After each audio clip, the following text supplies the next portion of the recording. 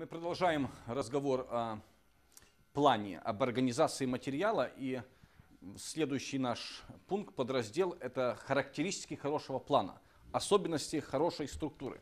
Э, я считаю это очень важным таким моментом или разделом в э, гомилетике. Я обращаю ваше внимание на это. Хотел, чтобы вы запомнили вот эти три слова в отношении плана. Вот чем отличается хороший план? Это связь с Библией, единство и последовательность. Связь Библии, единство и последовательность. И сейчас мы по порядочку пройдем. Чем отличается хороший план? Когда вы составляете план э, проповеди. Первое, план должен быть связан с Библией или с текстом. План должен отражать основную мысль текста. Его тезисы должны основываться на тексте Библии, раскрывать их основную тему. Мы берем текст, и план строго следует по тексту Библии. Э, лозунгом или девизом своего рода вот этого института э, является э, текст из Ездры 7.10. И вот план, составленный на основании этого текста. Заметьте, план полностью отражает, следует тексту, отражает текст, связан с Библией, с текстом. Ездра расположил сердце свое к чему? К тому, чтобы изучать Библию, исполнять написанное в Библии и учить Библии. И вот план, четкий, ясный план. Изучать Библию, исполнять написанное в Библии, учить Библию. Э, в других э, текстах иногда структуру обнаружить сложнее. И нам приходится работать. Мы вчера работали с текстами по Матфею, Евангелие от Матфея. Иногда нам было сложновато обнаружить структуру. Хотя тоже могли, по, если поработать немножко, можно обнаружить. Взять Иоанна 3,16, мы сегодня будем работать. Там ясная структура. Ибо так возлюбил Бог мир, что отдал Сына Своего, дабы всякий верующий в Него не погиб, но имел жизнь вечную. Как бы четырехчастная структура. Четыре части, и на основании их мы можем строить проповедь. План всегда связан к Библии. Проповедник постоянно в своем плане обращается к Библии, строит на основании Библии, на основании текста Библии. Это первый пункт. Второй пункт – единство. План, хороший план отличается единством. Хороший план отличается единством. Хороший план э, похож не на э, куст, а на дерево. Ну, я не художник, но если вот так представить, вот это будет дерево, что-то похожее. Здесь листочки. Вот. И вот это куст. В дереве есть ясная четкая идея, мысль, ствол. Это главная мысль. В нем есть ветви, это второстепенные подпункты и листья, иллюстрации. Куст такая расплывчатая структура, нет главной мысли. Человек не помнит точно, о чем говорил проповедник. И э, вот хорошие проповедники обращают большое внимание на единство текста и на ясность структуры, четкость, ясность структуры. Вот, э, пресвитер, пастор церкви Муди Чорч, э, такая церковь Чикаго, Эрвин Люцер, он говорил о двух самых вещах, которых он научился из своего изучения гомилетики, которые были самыми важными для него. Первое. У проповеди должна быть одна мысль, идея. И второе. Проповедь должна иметь единство, порядок и прогресс. Одна главная мысль, единство, порядок и прогресс. Единство – это одна из ключевых характеристик хорошего плана – Проповедник понимает суть, знает, о чем он говорит, и четко, ясно рассматривает вот с разных сторон одну идею. Например, Джон Весли, вот план его проповеди «Оправдание верою», так звучит. Что является основанием для доктрины оправдания? Первый пункт. Второй пункт. Что такое оправдание? Третий. Кто получает оправдание? Четвертый. На каких условиях можно получить оправдание? Очень ясно, четко и понятно. Оправдание и разные вопросы, которые говорят об этом. Вот еще один пример я привел это единство, виды молитвы. Мы проповедуем о молитве. У нас готовый план. Первый пункт – молитва исповедания, молитва поклонения. Второй – молитва ходатайства, молитва прошения. Этот план имеет единство. Скажем, второй план хуже. Вот. Второй план, вот тоже о молитве. У меня здесь четыре пункта. Например, э, я тоже захотел бы сказать проповедь о молитве. Я бы так составил, допустим. Первое – когда молиться. Второй пункт – где молиться. Третье – молитва благодарности. Четвертый пункт – как молиться. Ну, вы сразу видите, что план плохой. Например, третий пункт выпадает из этого. Он как-то не подходит. Единство достигается за счет параллелизма мысли в пунктах проповеди. Вот здесь, в данном случае, вот этого параллелизма мысли нет. Нет параллелизма ясности мысли. Э, сбиваются пункты. И вот вы, когда работаете над проповедью, вы всегда строите план. Делаете на листочке или в компьютере, в файле план и четко прослеживаете пункты плана, насколько они между собой параллельны. Вот как они следуют, исходят друг из друга, как они последуют один за другим, как они связаны друг с другом, действительно ли они связаны друг с другом, есть ли параллелизм в пунктах проповеди. И еще один момент, единство достигается за счет возвращения к теме, повторения. Вот мне нравится проповедь, я не помню э, имя этого проповедника, он произносил проповедь на тему Э, постарайся прийти ко мне скоро, постарайся прийти ко мне до зимы. Это слова апостола Павла, когда он обращался к э, Тимофею и к другу своему, соработнику, сотруднику, и просил прийти к нему. И вот он так ярко показал, проповедь у него была единой, цельной. И вот это единство достигалось тем, что он постоянно в течение проповеди повторял эту фразу «постарайся прийти ко мне до зимы». Вот и он рассматривал разные аспекты. Он э, говорил о том, что мы должны успеть некоторые вещи до зимы. Мы должны успеть покаяться, мы должны успеть сделать доброе дело, мы должны успеть навестить старого человека, как это должен был сделать Тимофей и так далее. Но он повторял эту фразу «постарайся прийти ко мне до зимы». Вот, и у людей осталась она, после проповеди осталась эта мысль. Постарайся сделать что-то как можно скорее. Время коротко. Скоро наступит зима. Скоро закончится вот время жизни в этом мире. И постарайся прийти и сделать это скоро. Развитие. Есть единство, есть повторение. Одна и та же фраза. Итак, связь с Библией, запомните. Второе, единство. Проповедь хорошая отличается единством. И третий важный момент – последовательность, прогресс, развитие мысли. В хорошей проповеди наблюдается последовательность в развитии мысли. Мы идем от неизвестного, то есть, вернее, от известного к неизвестному – от простого к сложному, от негативного к положительному. Это как цветок. Сначала семя, потом э, стебель начинает расти, потом э, распускаются, э, ствол вырастает, и, наконец, цветок, и постепенно-постепенно он раскрывается. И вот в этом суть и хорошая проповедь наша тоже имеет такую последовательность и развитие. Вспомните проповедь Христа, а, или притчу Христа о милосердном самарянине. Как у нее вот как развивается мысль у Христа, да? Он говорит о священнике, вот напряжение растет, затем он говорит о левите, как левит, люди еще более волнуются. Потом идет самарянин и кульминация мысли, кульминация. Самарянин оказывает помощь вот этому человеку. Вот этим отличаются проповеди апостола Петра в день Пятидесятницы. Помните, как Петр последовательно развивал свою мысль, у него был прогресс, развитие. И в конце он пришел к тому, что люди спросили, а что же нам делать, мужи братья? Он говорит, покайтесь там, и веруйте в Евангелие. Последовательность, развитие мысли имеет очень и очень большое значение. Вот как пример вот, развития мысли, э, проповедь на основании 4 царства, 4 глава с 1 по 7 стих. Это история о женщине, э, в которой была проблема, она была вдовой, двое детей, детей хотели забрать. И вот помните, пришел пророк и умножил масло. Вот когда она собрала сосуды у своих соседей, и наполнила эти сосуды, продала и получила масло. И вот здесь на основании этой э, идеи, текста можно было составить проповедь на тему «Добрый Бог», о Боге. И вот пункты проповеди в последовательности, в развитии.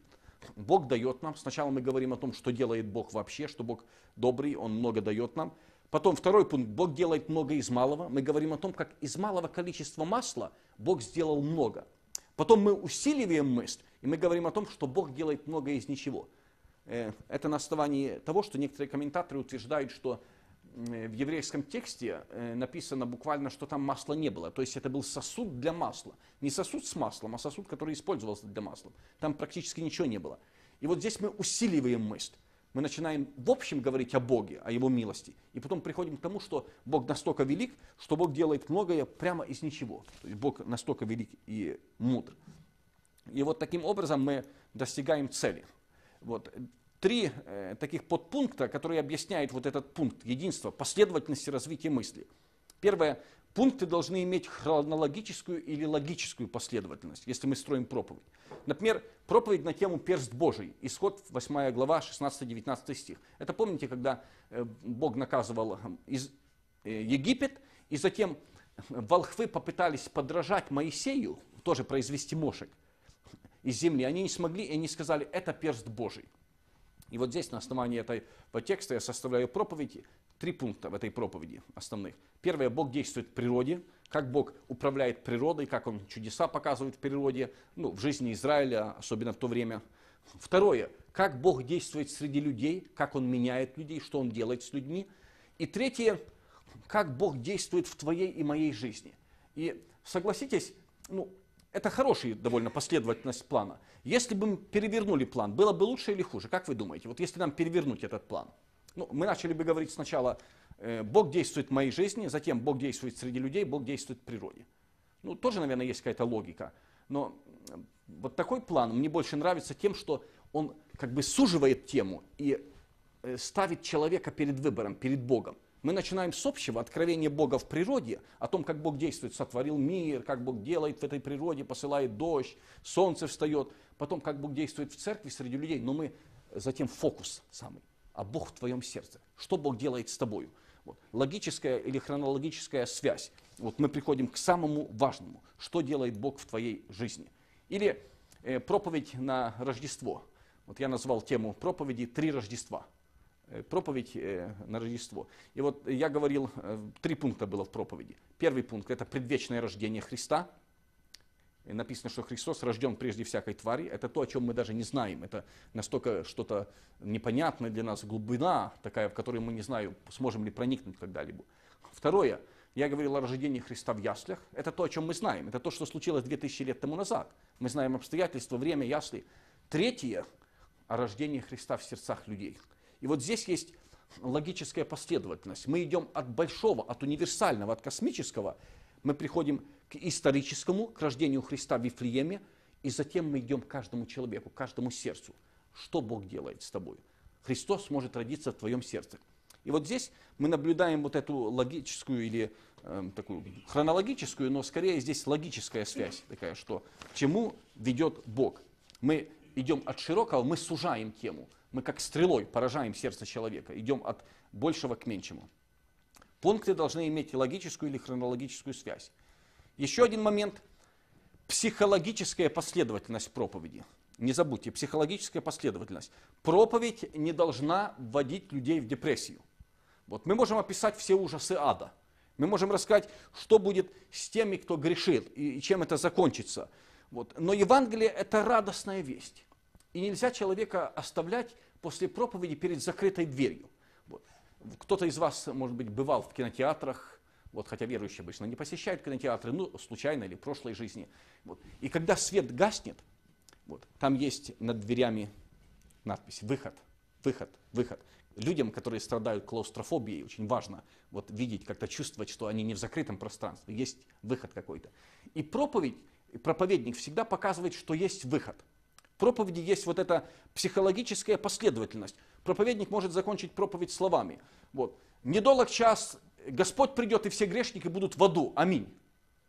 Ну, что дальше? Вот. Человек уйдет в собрание. Что он получит? Вот. Чем он будет жить дальше? Но хорошо сказать о том, что у вас есть возможность провести время в лучшем месте.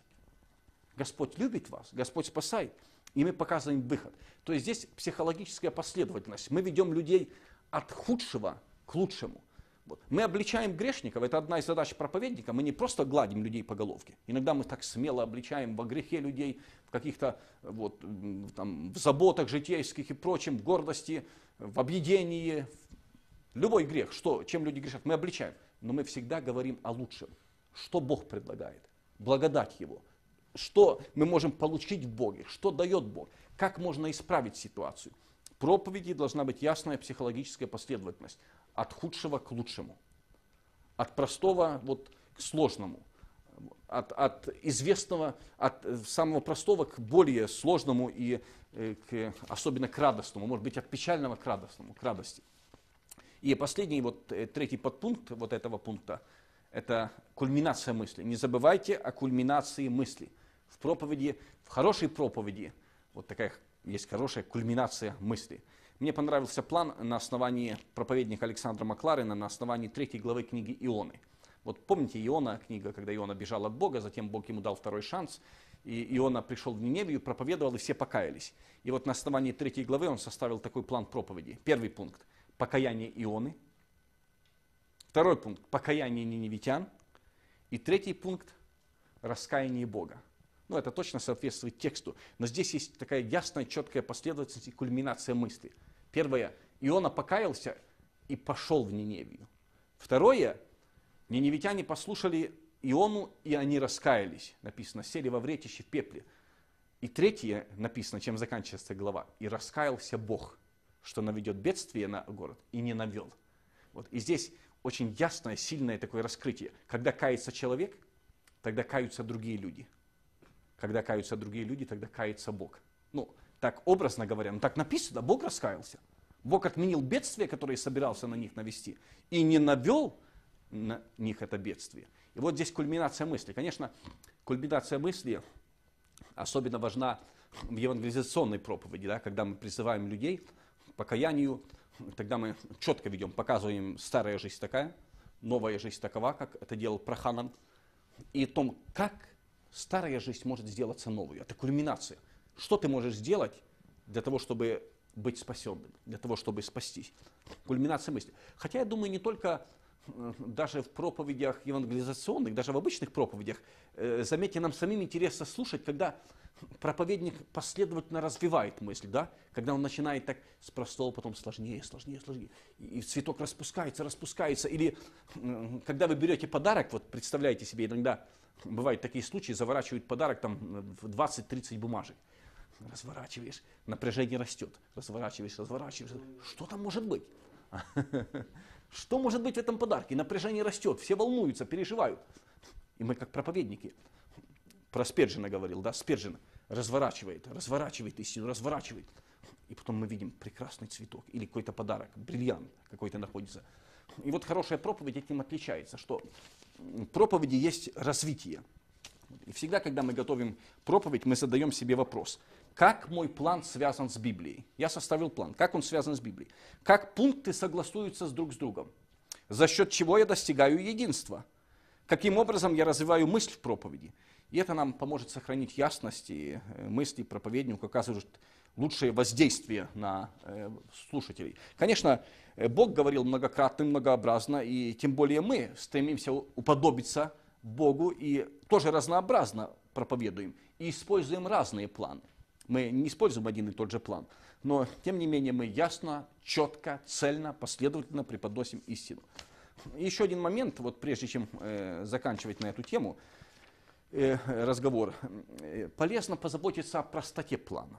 Вот когда вы составляете план, у вас есть на листочке или в компьютере план, постарайтесь, чтобы он был простым. Ну, есть великие проповедники, которые могут сложные планы делать.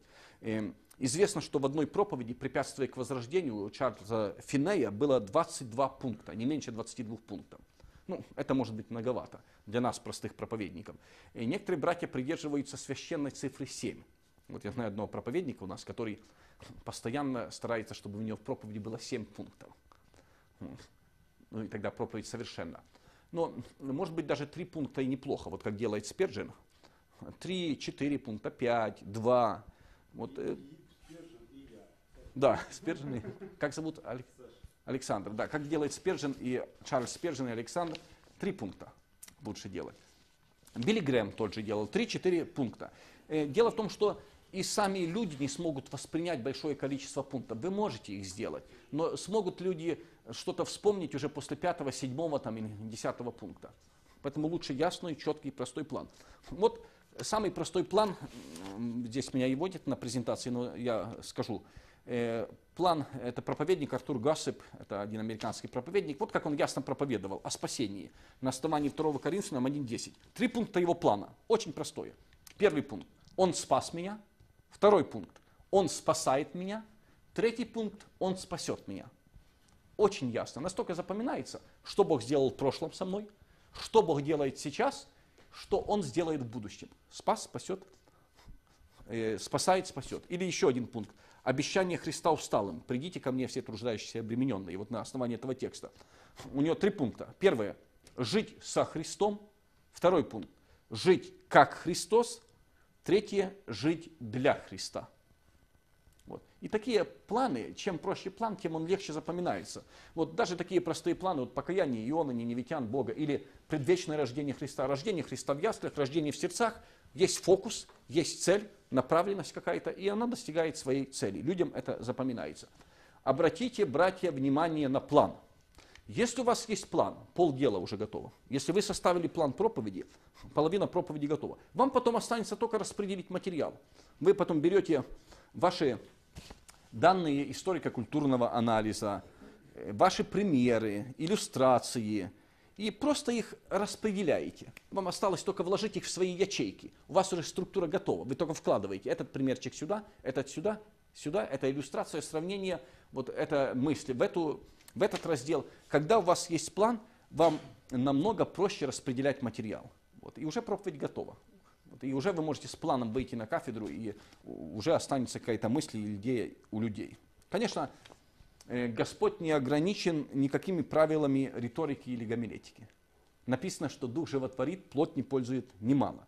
Поэтому мы не связываем себя планами. И мы здесь не говорим, что э, хорошая проповедь только и всегда должна иметь три пункта, вот такой последовательности, в таком изложении, три или четыре. Но, особенно в начале, особенно молодым проповедникам, полезно все-таки придерживаться каких-то правил.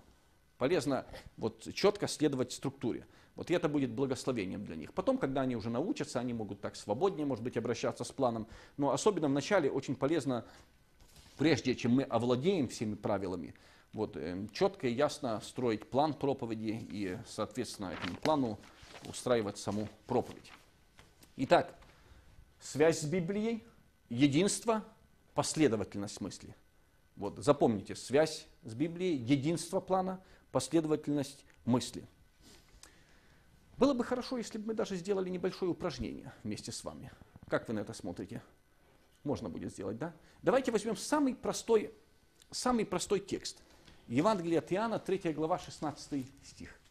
И мы составим, будем вместе сейчас работать. Вот начнем с самого простого. Мы составим э, три плана. Э, сразу можно разбить текст, как я говорил, на под разделы, это нам будет удобнее работать с ними. Так, давайте, знаете, какую-то тему. Напишем проповедь на тему, план проповеди на тему «Любовь Божия». На этот стих можно много проповедей говорить, можно много проповедей написать. Но мы напишем, сейчас наша будет тема «Любовь Божия». И я буду сразу это представлять, то, что вы будете говорить. Результат э, вашей работы сразу будет представляться здесь на доске, и мы будем анализировать. Вот как мы такой простой ситуации, что мы делаем? Значит, тема нашей проповеди – любовь Божия. Божия. Э, три-четыре пункта в проповеди. Давайте так последовательно, вот как написано в тексте Библии, попробуем вот учесть эти пожелания. Связь с Библией, единство, последовательность. Первый пункт. Вон. Хорошо, Бог возлюбил, или, ну, по-разному можно написать, Бог возлюбил мир, допустим, или... Хорошо. Второй пункт. Naсколько сильна любовь? Сила любви. Можно тогда, да, первый, первый лучше будет, как брат говорил, э, э, Божья любовь. Ну, как бы, в общем, Бог возлюбил мир. Любовь к миру. Второй, сила Божьей любви, да? Божьей любви к миру. Это э, с такой силой, что отдал сына, да? Хорошо. Третье. Что он нам дает? Что дает нам Бог? Что дает, что, что дает эта любовь? Нет. Это, как мы выразим лучше, чтобы красивее звучало здесь. Вот. Божья любовь, сила любви. Э, что дает это, что мы имеем в виду? Результат или цель, или... Жизнь вечная. Результат, Результат любви. любви да. Ну, фактически вот здесь три пункта может быть. Божья любовь, мы говорим в общем, Бог возлюбил мир. Какова сила этой любви? Такова, что Бог отдал. И здесь мы можем, кстати, тоже, например, сделать подпункты какие-то в этом пункте. Вот, что Бог отдал, Бог отдал, там, Бог отдал сына, Бог отдал сына своего, и потом там подпункт, что единородного – допустим, чтобы показать силу Божьей любви, мы можем подпункт сделать, да, показать, что Бог не просто отдал, Он отдал Сына. Не просто Сына, Он своего отдал. И не просто своего, но единственного. Показать эту силу любви. И потом результат любви. Вот э, какой результат? Спасение. Спасение. Ну, может быть, да, спасение от погибели. Может быть, в так, двух вариантах. Спасение Может, погибели. примирение с Богом. Или э, жизнь вечная, или примирение. Можно, да, по-разному э, выразить это. Ну И последним пунктом, я думаю, к применению жизни не только там, но и здесь уже полная любви. А. и- Жизнь вечная. ну да. Кстати, да, можно не об этом только сказать. там вечная, но и здесь уже после. Уже здесь. И можно еще что-то добавить. Ну, здесь, если проповедь евангелиционная, может быть, в заключение, э, ну, тогда мы что мы добавим в заключение? Вот сам призыв. Что нужно сделать? Познайте эту любовь. По, по этому тексту, вот если мы читаем текст э, э, Иоанна 3,16, что нужно сделать, чтобы получить жизнь вечную?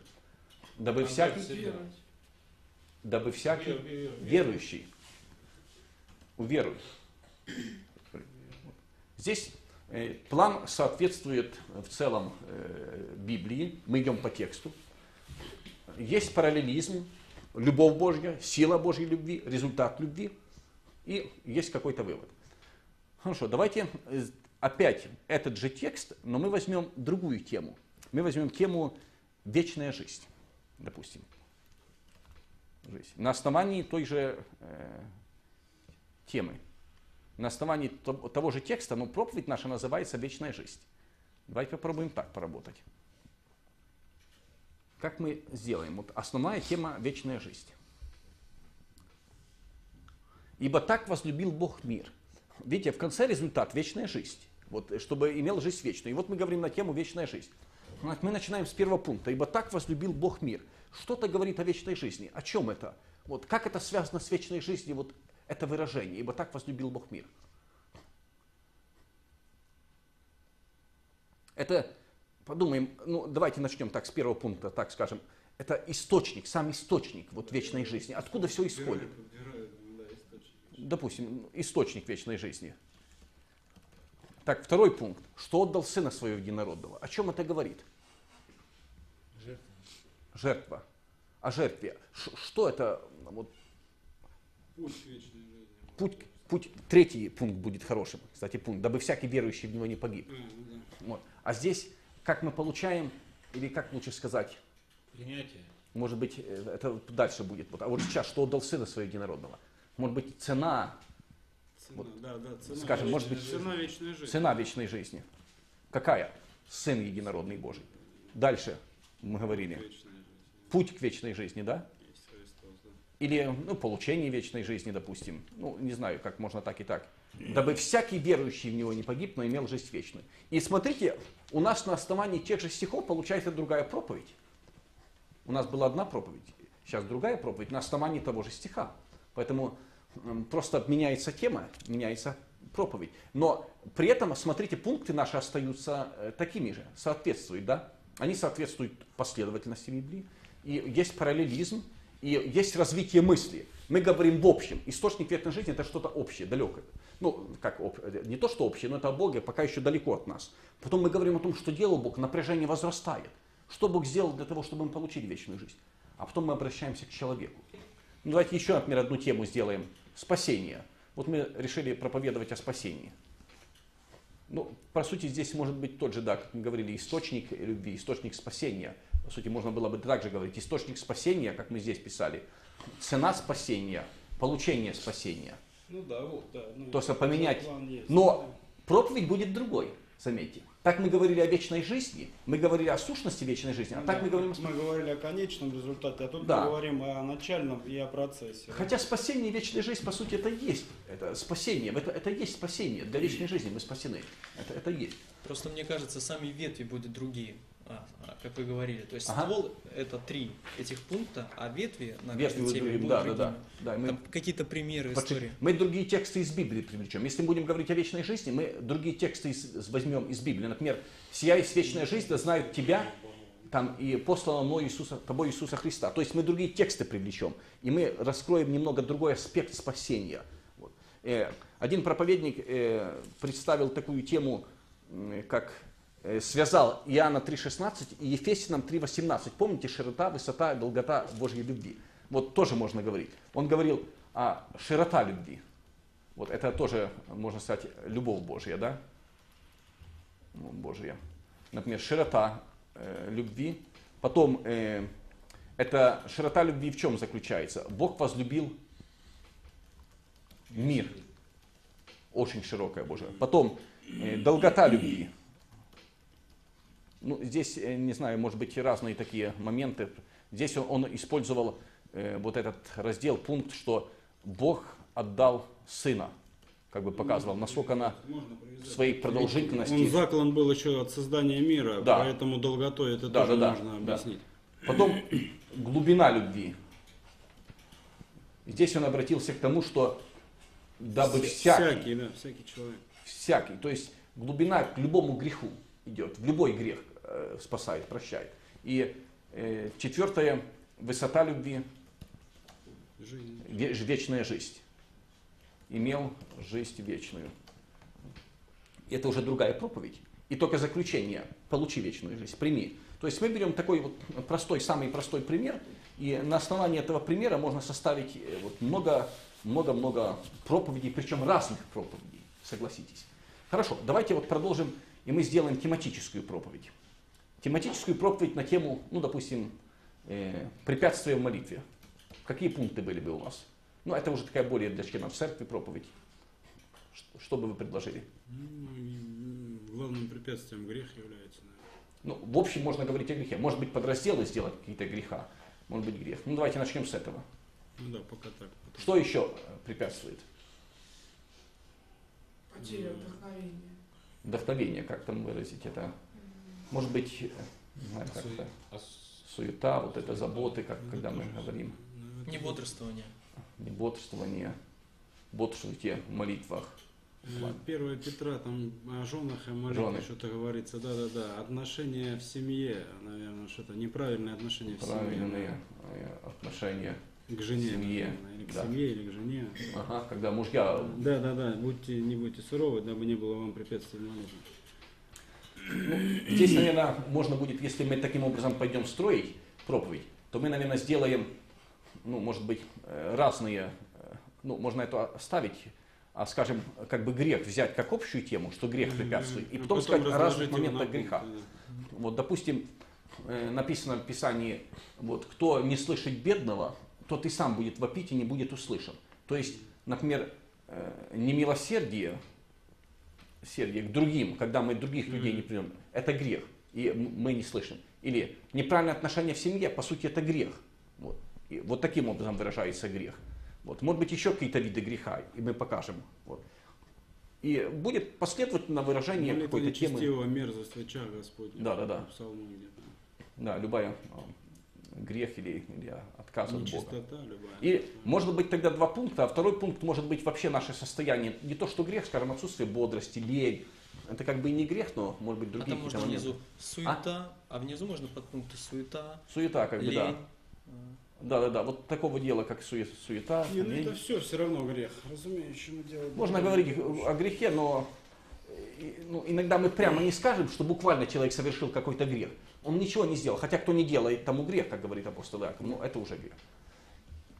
Э, Давайте возьмем еще один текст, вот, прежде чем закончить эту тему. Вот есть хороший текст, Матфея 6 глава, э, нет, 7 глава. Вот евангелизационную проповедь. Входите тесными вратами вот на эту тему.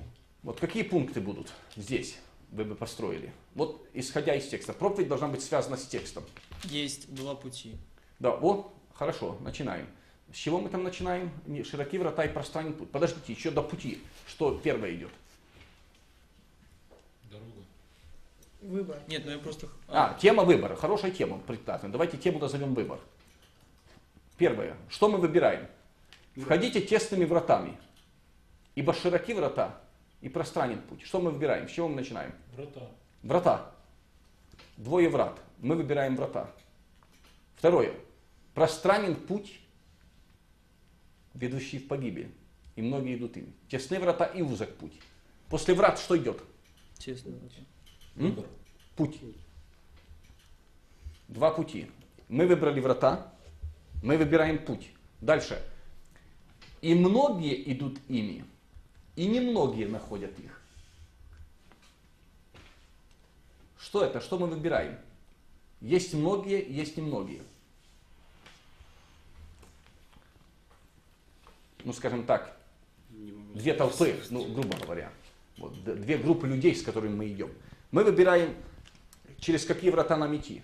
Мы выбираем, по какому пути нам идти. Мы выбираем, с кем нам идти. Или идти с немногими, что не всегда приятно может быть, или идти с толпой большой, что веселее намного. А в конце, Конечно, ведущие в жизнь и ведущие в погибель. Куда придешь? Результата. Мы, мы, здесь мы уже не выбираем, по сути. Хотя это зависит от нашего выбора. И вот вам инвестиционная проповедь. Мы просто идем по тексту. Выбери двое врат, выбери два пути, выбери две толпы, и потом, как фокус такой, мы говорим, смотри на конец, не смотри на начало. Начало блестящее, яркое, все светится просто в огнях, настолько все приятно. Смотри на конец твоего пути, к чему это приведет. Конец – жизнь вечная или погибель. Вот. И здесь мы фокус такой, фокус приводим. Вот мы не забываем о кульминации мысли, развитии мысли, кульминации мысли. О чем бы мы ни говорили, мы стремимся, вот, э, ну, в хорошей проповеди всегда, практически всегда будет вот эта кульминация, напряжение, когда цветок полностью распустился, и мы привели это вот э, туда, куда хотели людей привести. Два результата. Итак, хорошо. Э, Помните вот этих три мысли? Еще раз. Вот три мысли основных. Хороший план. Чем отличается хороший план? Вот мы уже этим занимались. Хороший план. Связь с Библией, единство, последовательность. Что? Помните вот эти основные мысли. Как составляется и как должен работать план. Вот связь с Библией, единство, последовательность. Чем больше времени вы проведете в работе над планом, тем легче вам будет потом. Просто посидеть и все упорядочить. И на бумажке обычно очень хорошо видно. Какие-то, когда, вы, когда в уме так незаметно, но когда вы напишете на бумажке, вы видите нестыковка, нет параллелизма между пунктами плана, нет ясности, последовательности, нет развития, нет какой-то психологической последовательности. Вот и, как- и в плане вы очень хорошо это увидите, когда план на бумажке или в компьютере, в файле стоит, очень хорошо это видно. И тогда вы сможете уже распределить материал соответствующим образом. Итак, хороший план. Связь с Библией, единство, последовательность. Запомните это.